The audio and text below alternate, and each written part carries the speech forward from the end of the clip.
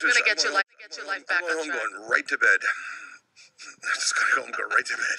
To my wife, I said, and I left my fucking orange and white blind guy stick on the fucking subway coming Ah. in town today. No way. Way. So where, where do you get another one? Here, Amazon Prime. Let's order me. I got to go to Amazon. It's two. You get two of them for like twenty-five dollars. Oh, they sell them Amazon? yeah, sure. Jesus Christ, what don't they sell? They gave me Helen Keller. Uh, the first one I was telling the guys, uh, Helen Keller gave me one, and it was clearly like used, and I think it was full of like lead and had like a big ivory bottom. It was like it folded up. It was like this huge, this big stick, and I was like, this from like 1920 or something, maybe with like uh, you know elephant skin. And that was the one that I got. Uh, I started crying in Central Park, and I beat a tree with it and threw it in the lake. Why were you crying that time? I Because you're fell over. I fell over a, uh, um, a bench.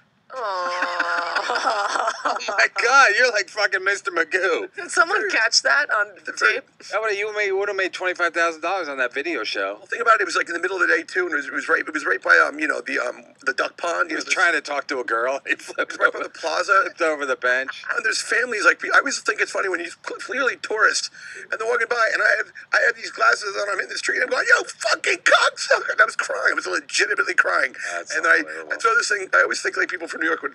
I mean, like just if, if tourists would be like, oh, we a we're a crazy New Yorker. We saw throwing and stuff in the lake. Blind guy, even blind guys are crazy. Yeah, Go it- ahead, caller. Hope it's not Gino. It is Gina. You? Hey, buddy.